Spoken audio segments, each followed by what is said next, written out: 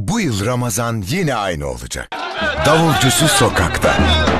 Pideler fırında. Hayraz Necati telaşta. Yemekler ocakta. Misafirler kapıda. E hadi o zaman.